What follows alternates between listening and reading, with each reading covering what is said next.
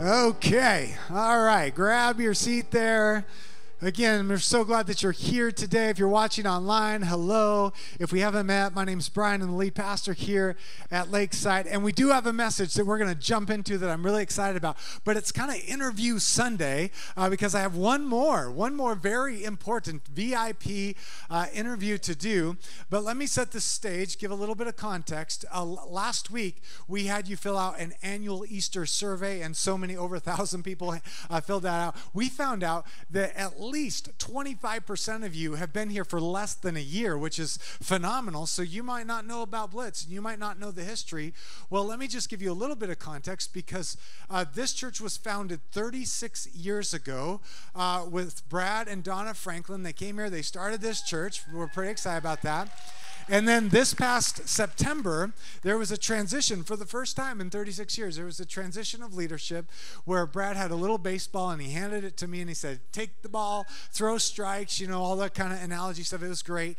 And then uh, we said goodbye for now, goodbye for now to Brad and Donna as they took a break from all of this to just kind of uh, be together, hear from God, learn what it's like to, to live a life and not be lead pastors. And then we knew that Brad and Donna would be back back. And so Easter was their back. And you guys, Brad is here. So please welcome to the stage Brad Franklin, everybody.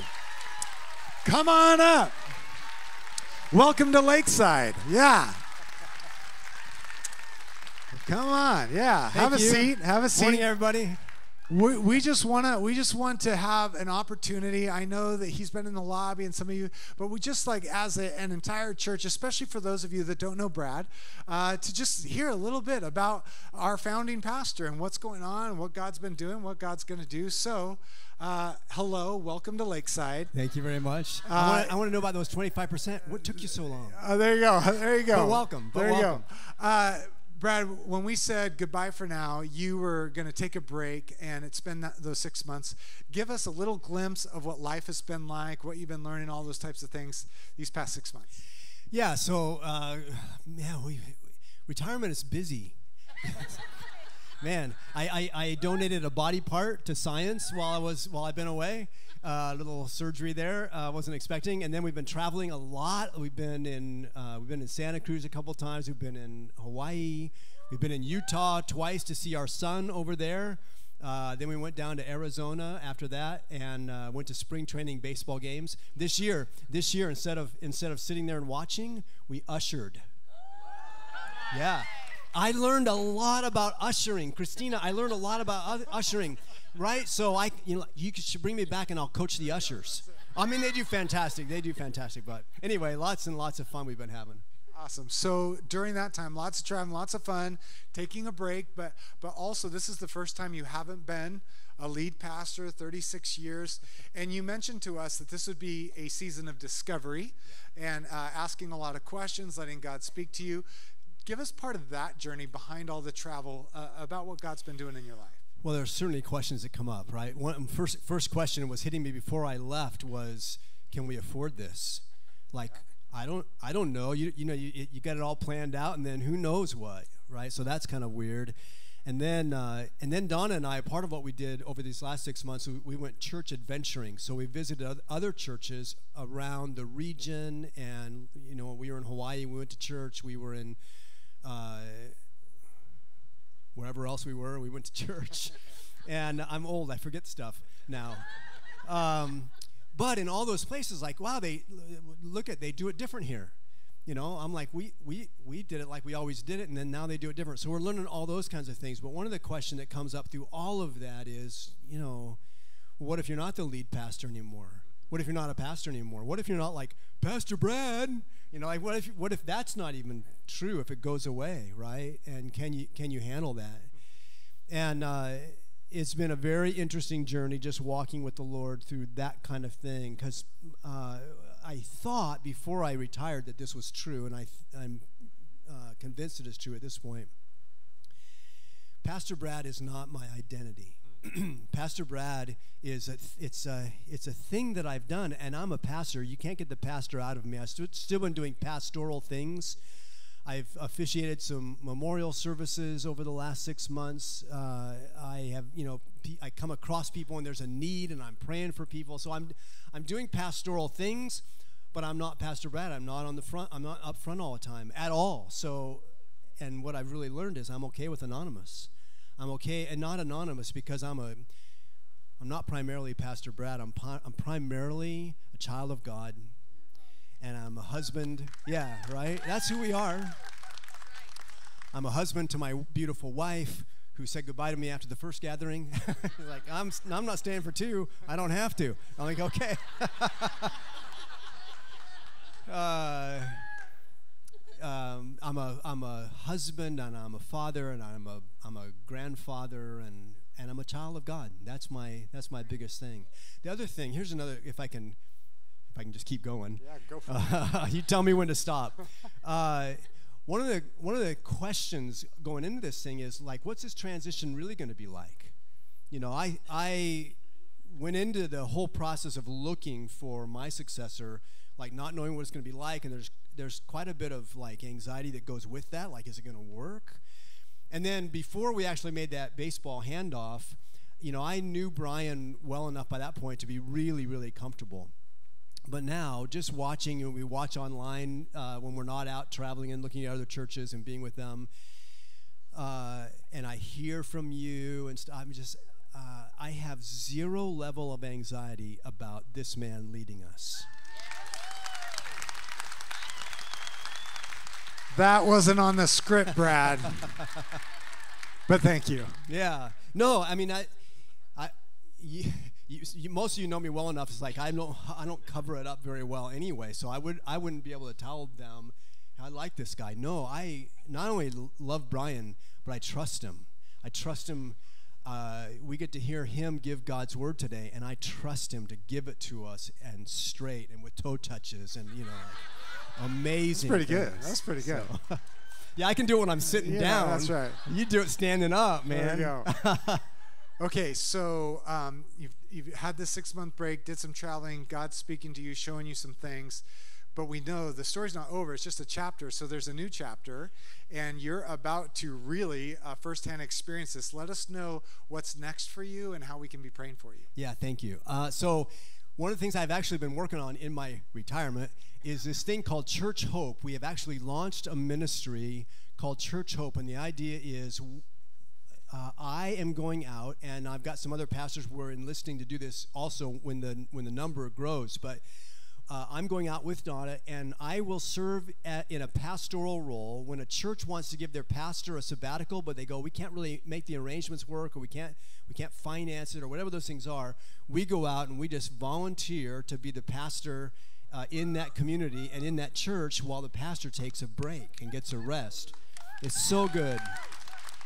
So uh, I've been working on that and trying getting the word out and things like that. Well, actually, this Tuesday, two days from now, Don and I are getting in our truck and we're pulling our trailer across the country to Lake Crystal, Minnesota. Min- Minnesota. And uh, I don't know if I'm doing that right. I've been practicing. I don't. We'll see.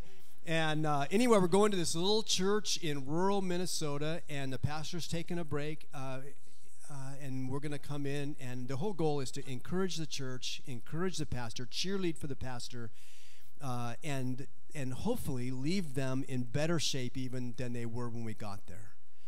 Now, this church, this church we're going to, this first one, it's not like the pastor's planned sabbatical for like three years. Like, oh, good, you're here. You're good. You know, this one's a little rough situation. I can't give you the details of it, but there's some really significant challenges that they face as a church. And if you would just remember to pray for those challenges and for me and for Donna even to be able to speak into those or to listen to people, to pray for people, to care for people uh, in the journey that they're on uh, with Christ there. That'd be great. Absolutely. Can I? Can I? Are you going to yes. lead me into that? what else, Brad? What else? Oh, good. hey, that's a good question. Sorry, I'm not used to being on this end, the receiving end of an interview. uh, I want to give you my church, my Church Hope website. If you want to follow along with what we're doing, I'm updating people on our website. It's not so much going on social media, a little bit, but on our website, you can sign up for our newsletter, and it's just going to update you in terms of where we are and what we're doing. So the, the church or the website is churchhope.net churchhope.net. If you forget that, you can call the office this week or whatever, and uh, you guys will get people set up with that.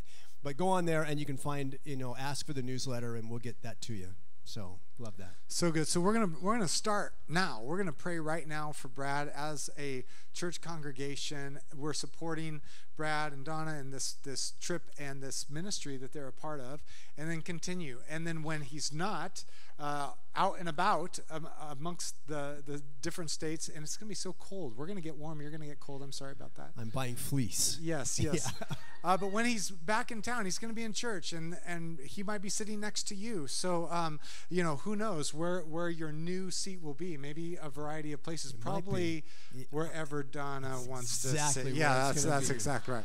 You But- find Donna in church here, you'll find me. But right it's a great opportunity. And again, we all have different church backgrounds. Some of us have no church background.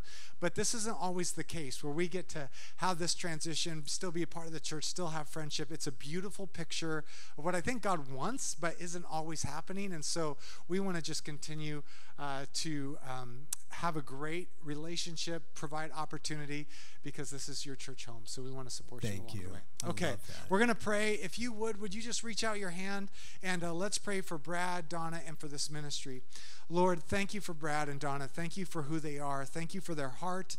Thank you for their desire to continue to care, uh, specifically with Church Hope in uh, providing pastors a break and the ability to get away and to rest and to receive um, just the peace that you bring. So, Lord, on this first trip, we pray you'd go before them, that you'd bless them, that you would prepare the hearts of the people. God, let it be a, a meaningful time. Let there be ministry and healing and goodness. We thank you, God, that you're with them. We ask this in Jesus' name. And everybody said, Amen. All right, let's give it up one more time, Brad. Appreciate you. Okay. Good job. Okay. Well done. All right. We do have a message. Are you okay with that today? Uh, yes or no? I'm going to do it anyways. All right, here we go. Uh, we have a series that's uh, kicking off today that's really a post Easter on purpose, a post Easter series, and we're calling it Made for More. Made for More. And it's this reality. Kind of Easter is such a big deal, and it should be, and we should celebrate, and we should do toe touches. Brad, not, I'm not, I'm not that agile, but, but we should. We should absolutely make the most of this celebration of an empty tomb. Uh, and we celebrate because Jesus is alive, right? Where Jesus is alive, we should celebrate. Last week I talked about this in the message. There's no more gap. That means that not only is Jesus alive, but access is granted. You and I can have access to God. He has an urgency to be connected with us, which is so great. And we should do so much celebration. But here's the dilemma the dilemma is that I still have issues. Come on, somebody. Right? Like, like Jesus is alive, access is granted. I still have issues. And sometimes there can be like this after Easter, post Easter, kind of like, what's going on? Because you go back home and you find yourself cranky still, and, you're like kind of worried about this, and you don't know about that, and you're like, wait a second, Jesus is alive. Access is granted. Why do I still have issues? And here's the reality I think all of us would love for Jesus to be alive, access is granted, and Shazam, all things are good, right? Come on, somebody. Like you just, you just get that Shazam going on, and all of a sudden you're like, ba and you're like, I look right, I see right, I talk right, I make all the right decisions, I'm not afraid of anything, I'm just good to go. The problem is that's not how it works. Come on. And if we're not careful, a lot of us when we're when we're not making jokes when we're like when it's really hard we begin to ask ourselves questions like maybe maybe this i'm just not cut out for this maybe jesus is alive maybe access is granted but um, it didn't take you know like I, I, must have i must have missed something and a lot of doubt a lot of worry a lot of wondering and, and, and maybe it doesn't mean that we just walk entirely away from god but it can mean that we just kind of live this life that is not in the fullness of what God wants for us. Because, yes, yes, the grave is empty, but man, we still have issues. But here's the good news and the reason why we're doing this series. When we look at the scriptures, on that Easter Sunday, Jesus rose from the dead, but he did not immediately ascend to heaven and say, Good luck, everybody. I hope you figure it out. There was actually this 50 day period between the resurrection Sunday and Pentecost Sunday, these 50 days, and on the church calendar, it's known as Easter tide. And it's actually, this is kind of cool. Uh, some of you didn't know this. It's actually 50 days of Easter, 50 days of celebrating the resurrection. I think, you know, like, I, I don't know how we can pull off 50 Sundays here, just like Easter Sunday, um, but there is this, this moment and this time that is a very important uh, time for us because rather than just ascend to heaven, Jesus stuck around until he understood until we understood the stories that we look at in these 50 days where he showed up in people's lives, where there was a mess, where there were issues. Yes, Jesus was alive, but they were still trying to figure things out, and he revealed himself and he ministered and showed them there yes the grave is empty. You still have issues but i'm here to let you know you were made for more than this and so he addressed people's questions, he addressed people's confusion, he addressed people's issues. Because Jesus shows us in this, this 50 day period that he wants to be present, that he doesn't want to be distant. It shouldn't just be a theology where you're like, I believe Jesus is alive, but he's not near to me. No, we see in this portion of the scripture these stories that exist during these 50 days that we'll dive in deeper, that God wants to be very present with us some of these issues that people are experiencing. Let's look at a list of them. In John 20, we see that people are dealing with fear, people are dealing with doubt, shame, confusion, wounds from the past. People are dealing with this sense of inability, uh, incapable of moving forward. And Jesus shows up during these 50 days, addresses these issues and says, Listen, I'm alive, but I have something for you. You are made for more than this. Don't you dare settle for a life that just believes in a risen Savior, but just experiences this kind of life because you are made for more than this. In fact, we pulled this, this title, Made for More, from this theme song. We're going to sing this song at the end of the service. We sang it last week at Easter, and I want to just show you a few lines from the, the lyrics of the song where it says, I wasn't made to be tending a grave. I was called by, by name, born and raised back to life again. I was made for more. And I just love this line. I'd sing it to you, but then you guys would go like this, and it's not good. Josh should sing it. Uh, I shouldn't. But but this first line, I wasn't made to be tending a grave. This is what Jesus did when he showed up in people's lives. They, they believed that Jesus was alive, but they were still experiencing this, this shame, guilt, fear. And he's like, don't tend this grave. You don't have to live this way. And he showed up in their life and he says, I'm going to show you that you were made for more. I'm calling you, calling you forward. And here's my, here's my concern as a pastor. This is why we're doing this series. Some people have a, a poor theology that kind of thinks about heaven as heaven later like heaven someday. Until then, we just got to hold on and just kind of make it through. Like, come on, Margaret, we're just going to make it till till the end. But someday, you know, glory's coming, and but until and and you just kind of tend to grave until heaven comes later. But what Jesus reveals to us, it's not just heaven later, it's heaven now. It's the kingdom of God here. It's experiencing the goodness of God here and now, letting God's kingdom be alive in you so that you don't tend graves of old because you were made for more. May we not just sit around waiting for something that can be experienced in the here and now. Amen, somebody. In fact, Jesus would explain this. He'd explain this. In fact, in Luke chapter 17, it says this one day the Pharisees asked Jesus, When will the kingdom of God come? And Jesus replied, The kingdom of God can't be detected by visible signs. You won't be able to say, Here it is, or it's over there, for the kingdom of God is already among you. He's saying, I'm, I brought heaven to earth. If you remember where the disciples said, Jesus, teach us how to pray. He said, Pray, your kingdom come, your will be done on earth as it is in heaven. Jesus made it possible to experience the goodness of God, the kingdom of God, so that we're not just tending graves, just kind of making it through until one day at least we go to heaven.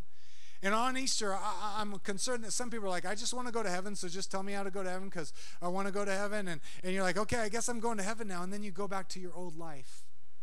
But that is not following Jesus. When you follow Jesus, you experience the kingdom of God.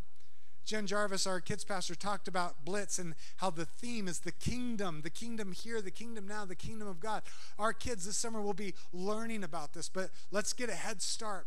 Understanding kingdom here, heaven here, made for more. And I love this simple explanation of on earth as it is in heaven. Here's, here's a simple definition or, or understanding of the kingdom of heaven it's the order of heaven coming against the chaos on earth. Jesus came to bring the order of heaven in the midst of the chaos of earth. So anywhere Jesus went, he's like, wait a second, sickness, Sickness is chaos of theirs. That doesn't belong in heaven. I'm bringing the order of heaven. I'm bringing I'm bringing healing. Wait, fear? No, fear doesn't belong in heaven. That's the chaos of this earth. I'm here to bring peace where there's fear. Wait, there's shame over here. Shame doesn't belong. That's the chaos of this earth. I'm here to bring I'm here to bring peace. I'm here to bring wholeness. Jesus brought the kingdom here. You and I can experience day by day, step by step, understanding by understanding more of what God has because He wants you to know you were made for more. It's not just to get to heaven, it's to experience heaven starting now, and He wants to do that in you, and He wants to do that through you. He wants you to experience the kingdom of God in your life. He wants you to bring the kingdom of God to our community through your life. And Jesus gives us the example during these 50 days. Let's go back to our list. Where Jesus encounters fear, we're going to see how Jesus brought order. He brought courage. Where there was doubt, he brings belief. Where there was shame, he brought dignity. Where there was confusion, he brought purpose. Where there were past wounds, he brought healing. Where there was inability, he brought power. Jesus says, I'm going to bring the order of heaven against the chaos of earth. And as you experience this, you won't have to wait to get to heaven. You will begin to experience heaven in the here and now. You were made for more. And so, what we're going to do is, we're going to each week, we're going to look at one of these stories of how Jesus showed up after Easter, but before he ascended, and how he brought the kingdom of heaven, how he showed and revealed this reality. Yes, the grave is empty. But yes, you have issues. Don't worry. I'm going to help you out. So, the first thing we're going to look at is this fear that Jesus encounters in his own people in John chapter 20. Let's look at how this scripture starts. It says, That Sunday evening, the disciples were meeting. Now, here's the context. That Sunday evening is literally Easter evening. Sunday, Jesus rose from the grave. Here's the context Mary goes to, to take care of Jesus' body because the, the, the dudes, the men, had buried, the, had buried Jesus in the tomb, but Mary goes back because she's like, I know they didn't do a good job. Uh, I gotta, I gotta fix what they tried to do. So, so she goes back and she, and, the, the tomb is empty. She's like, what? Oh my goodness, what? Oh my goodness, what? And then this gardener, I'm putting it in quotations because she thought it was a gardener, shows up and, and she's like, what's going on? She's like, the, the body's gone. Uh, what, what, what? And then this gardener says her name, Mary. And when he says Mary, she looks at him and she realizes this is the risen Savior. This is Jesus. And she encounters the living Savior. And so she runs back to tell the fellas. And she runs back over here. And they're like, What? She's like, I know. And they're like, What? She's like, I know. And she's like, What? I can't. And, and then uh, you can read this for yourself. You should read the Bible. Uh, and then, and. Peter and John have a foot race. Literally, John writes about this. In fact, John's kind of funny about this. John really likes John. Like he he speaks well of himself in his own gospel writings. He, he's like, there was a foot race, and John, the beloved, beat Peter to the tomb. He literally writes that. Nobody else in the account of this writes about John beating Peter, but John writes about John beating Peter. By the way, this is just extra credit. John also, in his own gospel calls himself the beloved. Nobody else calls John the beloved. He's like the one whom Jesus loved. People are like, come on, John. Remember, Jesus is alive. We have access, but we all have issues. So, so they go back and they're like, the grave's empty. What, what, what, what? So they run back. The grave's empty. Oh my goodness. Meanwhile, another, some guys are walking back to Emmaus. Huh. If you went to the men's breakfast, I preached about this. But uh, the, these guys are walking back to Emmaus because Jesus must be dead. Nothing worked out. Shoulders are hunched over. And then Jesus shows up, but they don't know he's Jesus. So he's like, hey, what are you guys doing? What's going on? And they're like, you don't know? Where have you been? He's like, well, that's another another story. But, but they're like, they're like, Jesus, we thought he's the Messiah, but, but he's like, okay. Uh, and then he goes on, go, goes to go on, and they're like, no, stay at lunch. And he breaks bread just like the Last Supper, but it wasn't the Last Supper because he's still doing because he's alive, and he breaks bread. And it says when he did it, their eyes were open, and they realized it's Jesus. And later on, they would say, did not our hearts burn within us? When he spoke to us and they realized Jesus was alive. They run back and they tell the disciples. So this is all on Easter. This is all Easter Sunday. This is why it's a big deal. But now we get to Easter evening. And all these people with all this stuff has gone on, and they're meeting together. And you might be thinking, it must be a party.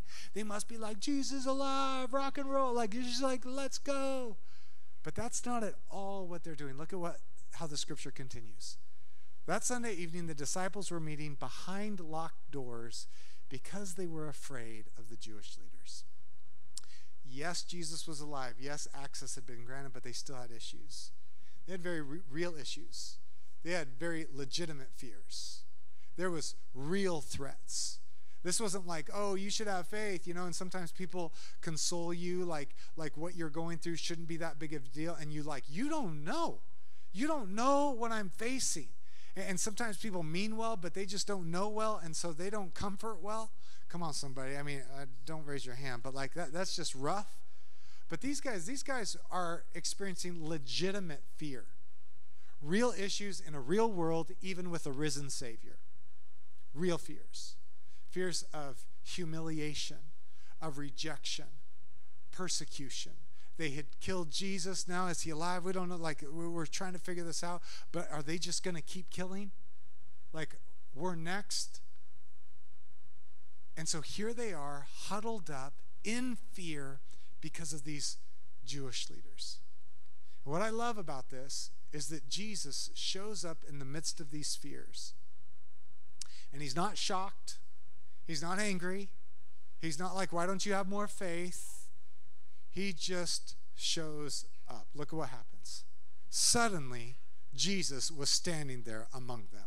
Now, this is a little trippy because they are behind locked doors. And it doesn't say Jesus knocked. It doesn't say that he, you know, pulled out his little MacGyver pickpocket. That's for all you 40 year olds.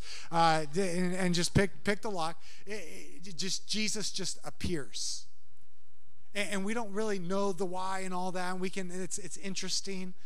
But if I could just propose a simple uh, suggestion that a curtain, this is from the message last year, a curtain, a veil could not keep God from us, no gap. Locked doors could not keep Jesus from us, and fear could not keep Jesus from us. He is setting an example. You are going through some real things. You are trying to keep everybody out, but I'm inviting myself in. And sometimes, sometimes Jesus just shows up in our life uninvited. Come on, somebody.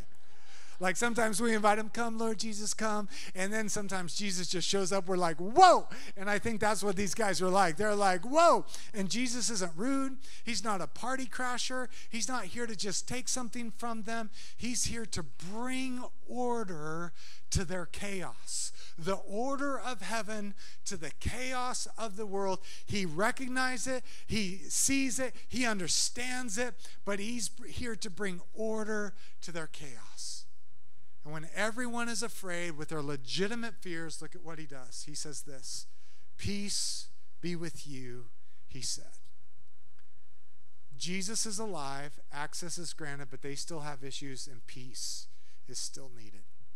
And if you're thinking about your own spiritual journey and how you celebrated Easter, but maybe the problems that you walked back into on Monday, that's just called life.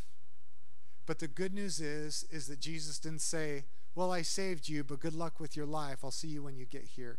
Jesus wants to enter into that world, into, into that space, and bring peace. And the good news is when Jesus says peace, it's not just lip service. Again, some people bring their best intentions, but they can't really help you.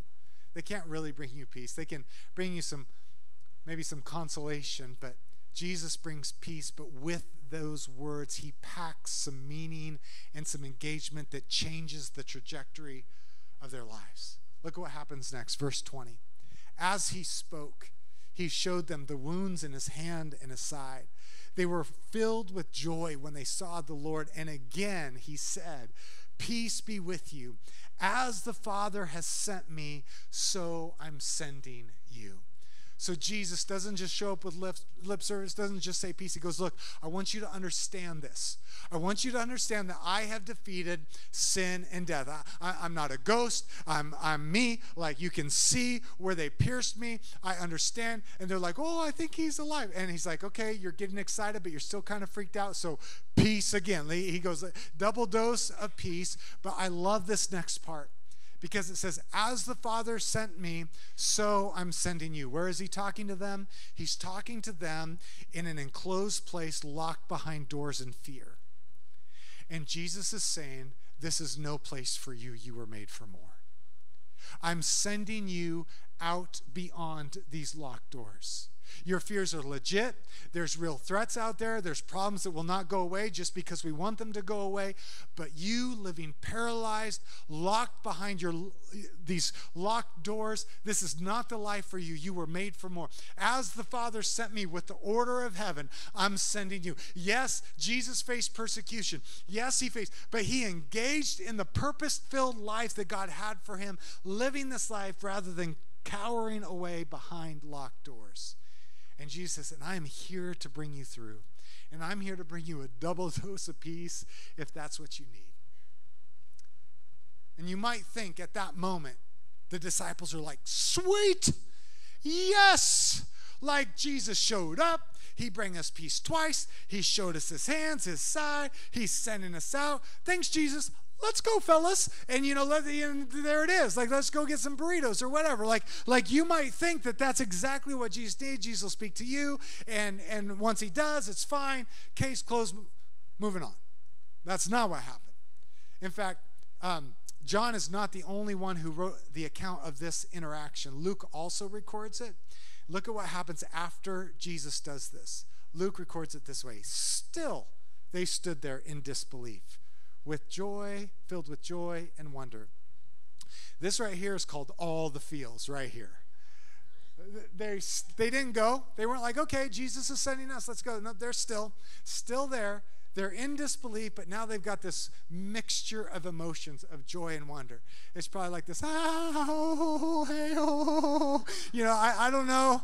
I don't know. But like, this is all trippy and it's kind of good news, but uh, out there still kind of scary. But Jesus is with us, but we're not going yet. And so there's some disbelief, there's some joy, there, there's some wonder.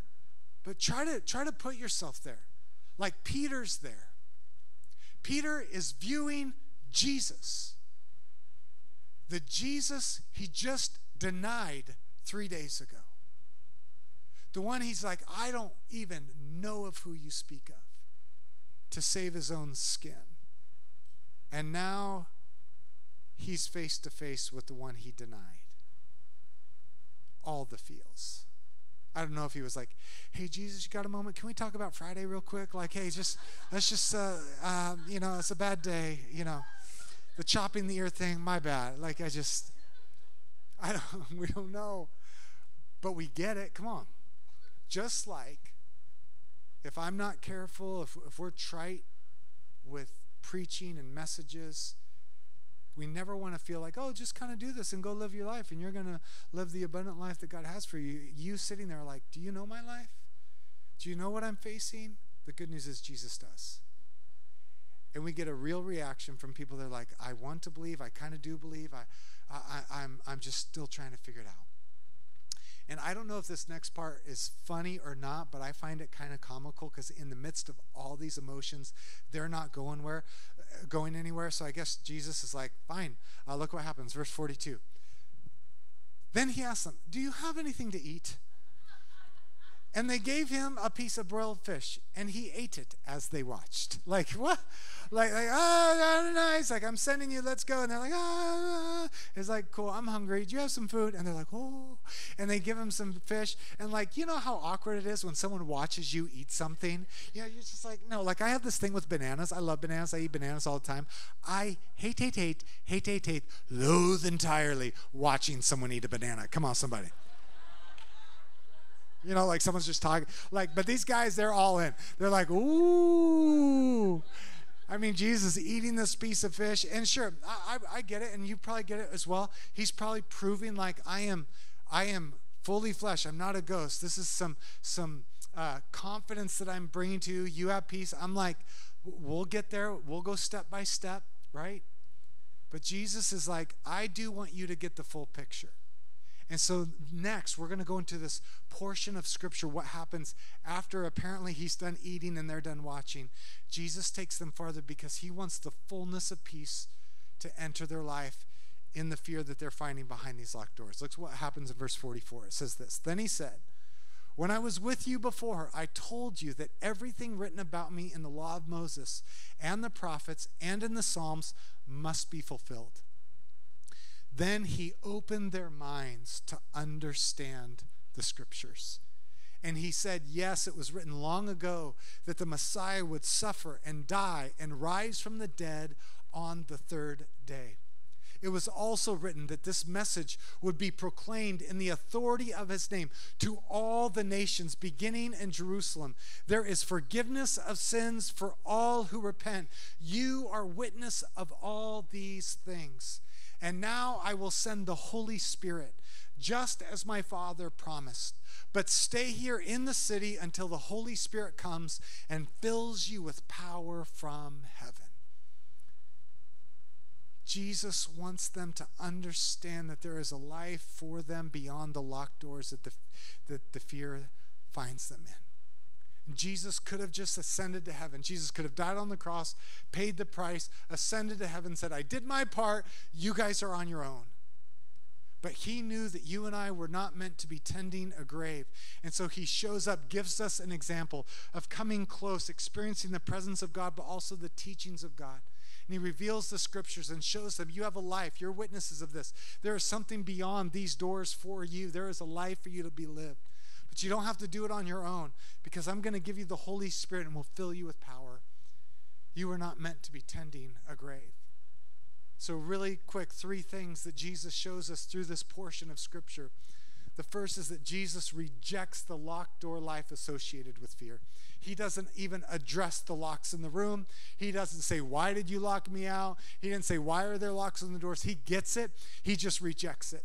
He's like, I get it. You have legitimate fears, but I am. I, there is a life beyond the fears that you're experiencing. There is a life for you, and I'm going to reject it. Reject those locked doors in your life. Secondly, is this: Jesus teaches the scriptures to reveal the kingdom of God. He understands that when life happens, we get all the feels. Some good, some bad, some in between. And if we live our life just based off of our feelings, man, we can just go in a million different directions and end up nowhere. But Jesus like, root yourself in the scriptures. Let me teach you. Let me open your minds to the story of God. This is important for you. If you're going to have peace, get rooted in the scriptures. Jesus gave that example. And third is this Jesus sends the Holy Spirit to empower us beyond locked doors to a God ordained life. He doesn't pre- pretend that we should just like muscle up, that we shouldn't just like give it the good old college try, that we shouldn't look ourselves in the mirror, do some positive thinking. He knows that we will all experience fear, and He knows that there will be all different types of people offering all sorts of help for the fears that we face. Just go to Barnes and Noble in the Palladio, and you can read books about what people want you to do with the fears that you experience. And He goes, I get it. There's lots of some a lot of self-help out there some techniques you can use. But he's like, I have something for you that you can never do for yourself. I want to empower you beyond what you're capable of. I want to bring heaven to earth. I want to bring the order of heaven to the chaos of this earth. And I'm going to send my Holy Spirit to empower you.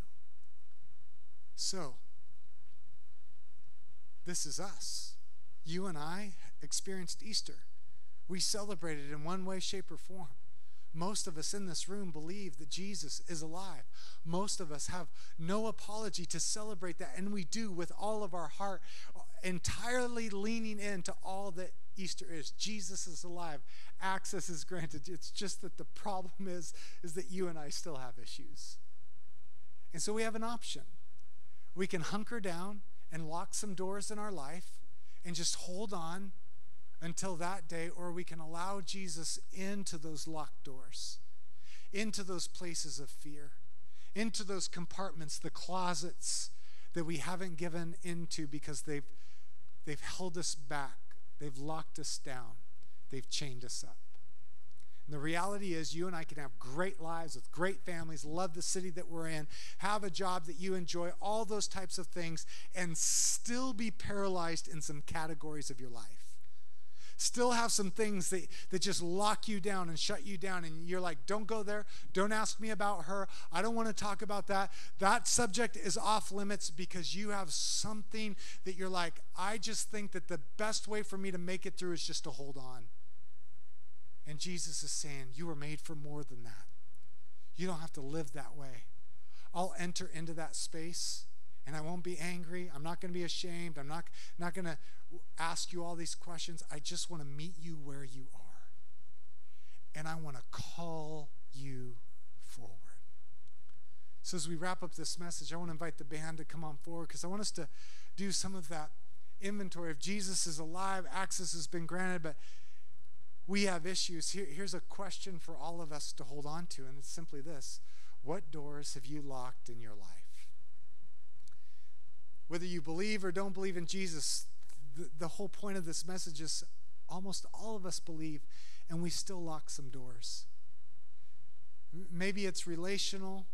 Maybe there's just something where there's just a grudge that you've held on to, and you're afraid that if you ever forgive that person, it's like you're you're giving some kind of pass to them for what they did, and so you're just afraid to forgive. Maybe it's financial. You're just you're just so afraid of your financial state. You don't even want to look at your bank account. You certainly don't want to give generously because you're just afraid of what might happen. Do you know the state of the world? Maybe it's like political and you're just like, "Do you know where we're at? Do you know what's going on in this world? Do you know?" And you're just paralyzed by fear. And you've locked up some doors. Jesus gets it. And some of those fears are legit.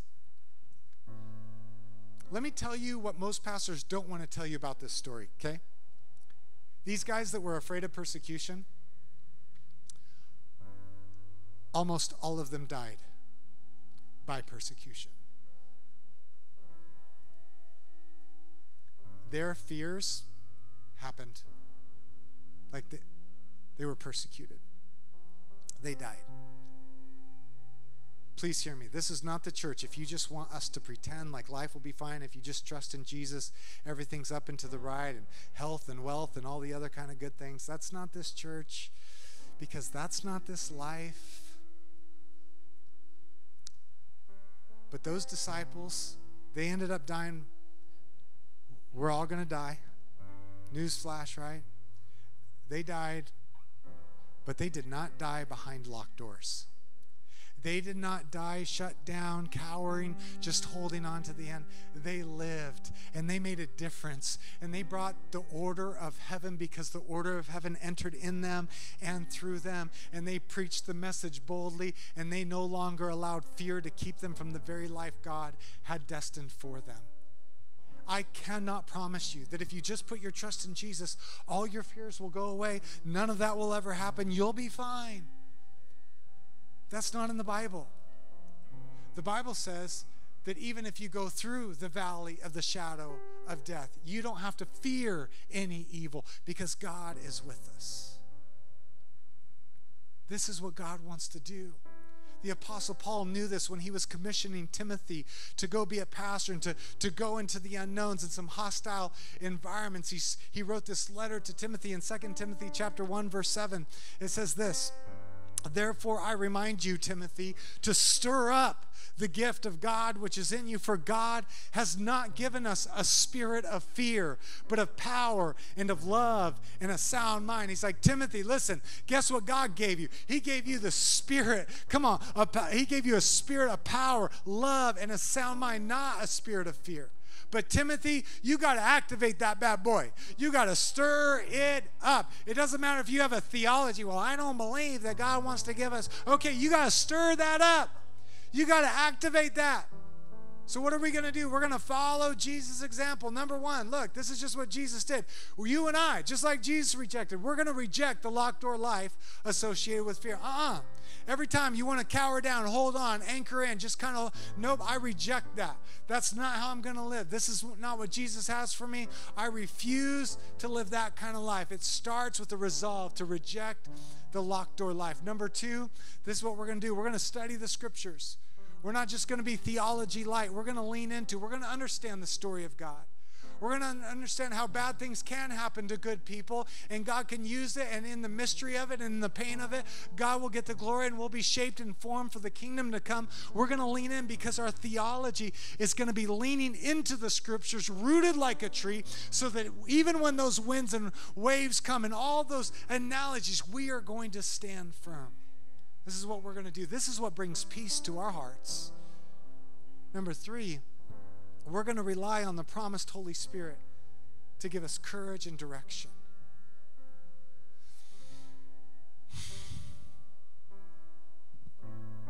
I wasn't made to be tending a grave. I was called by name, born and raised back to life again. I was made for more. yeah.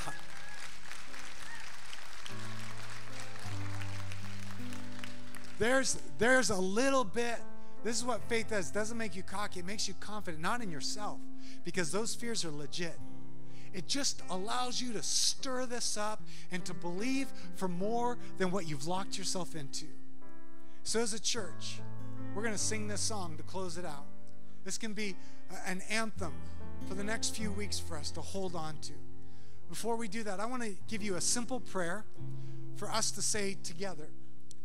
And I'll say this out loud first, and we can say it together. Maybe you want to take a screenshot of this, and every morning you're just going to say this simple prayer. It goes something like this Jesus, you are welcome behind the locked doors of my life.